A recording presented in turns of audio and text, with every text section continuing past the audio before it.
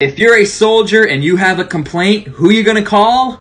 The Inspector General, or IG for short. Now, if you know your unit is breaking a ton of regulations, being unsafe, you feel singled out and nothing is getting done about it, you call IG and you put in a complaint. These guys literally know every single article, field manual, everything about the army, and they will do an investigation and see what they can do to fix the problem. For example, if your unit is making you sit in the back of a truck with a whole platoon and three pallets of barbed wire and people are sitting in them, you can call the Inspector General. And yes, this actually happened. Now, IG is pretty straightforward and they tell you do not be a Karen. They don't care if your feelings are hurt. You better have some facts and some evidence that your unit is breaking a bunch of policies. Now, people do abuse this program, but when used right, this is the one program in the army that levels the playing field for any soldier.